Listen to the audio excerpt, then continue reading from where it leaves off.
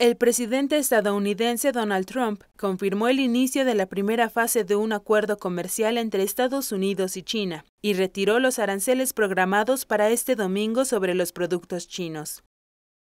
Hemos acordado un gran acuerdo de fase 1 con China.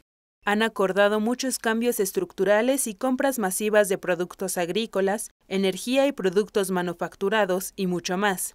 Las tarifas del 25% se mantendrán como están, con el 7.5% aplicado en gran parte del resto, publicó en Twitter. De igual forma, dijo que se comenzarán las negociaciones sobre el acuerdo de la fase 2 en lugar de esperar hasta después de las elecciones de 2020, con ello, Estados Unidos continuará imponiendo un arancel del 25% a los productos chinos por valor de 250 mil millones de dólares, pero se redujo la tasa impositiva sobre los bienes estimados hasta en 120 mil millones de dólares a un 7.5%, informa la Oficina del Representante de Comercio de los Estados Unidos.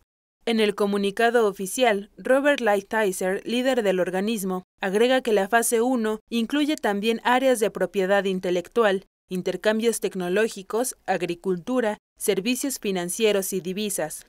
Su contraparte asiática confirmó que acordaron la primera etapa del acuerdo bilateral y detalló que dicho texto consta de nueve partes y que contiene lo informado por Lighthizer, más asuntos de transparencia, expansión comercial, resolución de disputas y cláusulas finales.